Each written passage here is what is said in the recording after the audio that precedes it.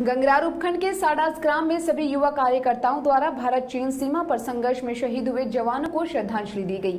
सामाजिक कार्यकर्ता विजय पुरोहित ने बताया कि भारतीय चीन सैनिकों के बीच एलएसी पर हुई तनातनी के बीच हुई हिंसक झड़प में करीब दो दर्जन से भारतीय सैनिक शहीद हो गए हैं। चीन की इस हिमाकत पर लोगों का गुस्सा फूटा है।